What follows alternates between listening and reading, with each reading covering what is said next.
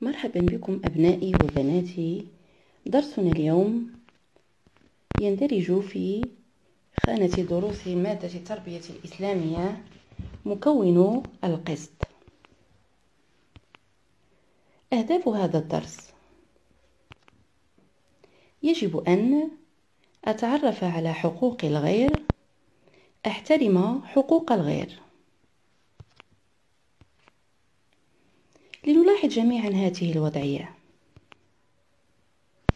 جاركم علي رب أسرة يمضي وقته بين العمل والمقهى لكنه عند عودته إلى البيت يحمل هاتفه ليتفحص المواقع الإلكترونية دون أن يخصص وقتا للجلوس مع أسرته وتفقد أحوالهم.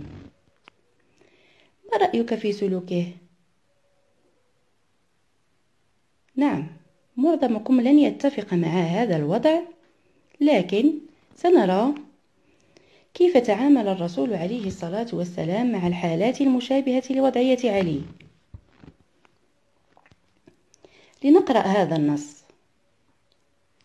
زار سلمان الفارسي أبا الدرداء رضي الله عنهما فلاحظ أنه يكثر من العبادة ويهمل حقوق أسرته فنصحه قائلا إن لربك عليك حقا وإن لنفسك عليك حقا ولأهلك عليك حقا فاعطي لكل ذي حق حقه فأتى النبي صلى الله عليه وسلم فذكر له ذلك. فقال النبي صلى الله عليه وسلم صدق سلمان.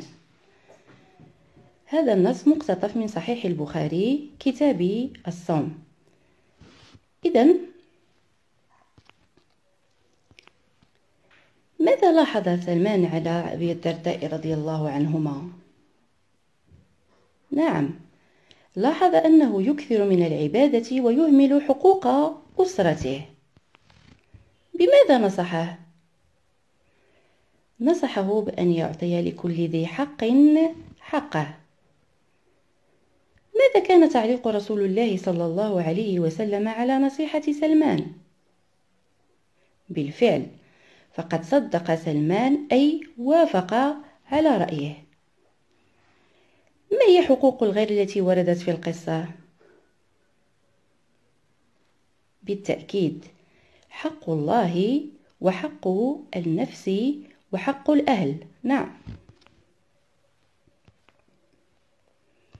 إذا نستنتج من النص السابق ما يلي.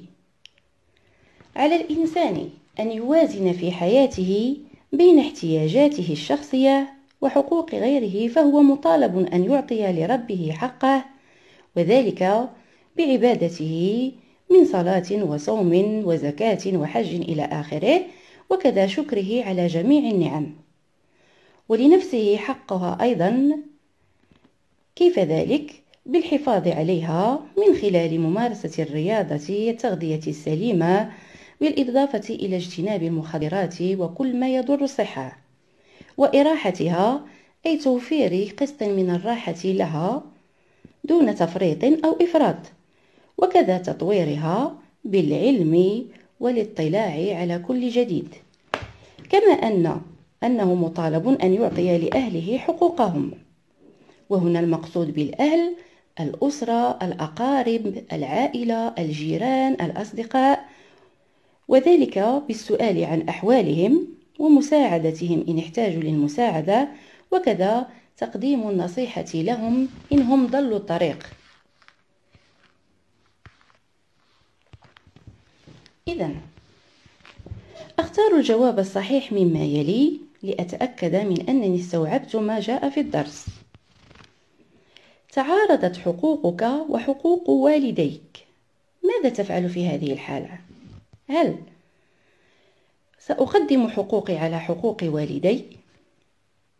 أقدم حقوق والدي على حقوقي أو سأوفق بين حقوقي وحقوق والدي؟ أكيد. سأوفق بين حقوقي وحقوق والدي هو الجواب الصحيح. سأضع بين أيديكم وضعية تكتشفون من خلالها مدى تحقق الأهداف المسطرة في بداية الدرس. وهي كالتالي السند. يقول الله تعالى في سورة النساء الآية 36 أعوذ بالله من الشيطان الرجيم واعبدوا الله ولا تشركوا به شيئا وبالوالدين إحسانا. وبذي القربى واليتامى والمساكين والجار ذي القربى والجار الجنب والصاحب بالجنب وابن السبيل وما ملكت أيمانكم. إن الله لا يحب من كان مختالا فخورا. صدق الله مولانا العظيم. الوضعيه هي كالتالي. أخبرك صديقك أنه غير ملزم بمساعدة أحد غير والديه. باعتمادك على السند السابق بين لصديقك خطأ رأيه. شكرا على حسن المتابعة وإلى لقاء قريب إن شاء الله.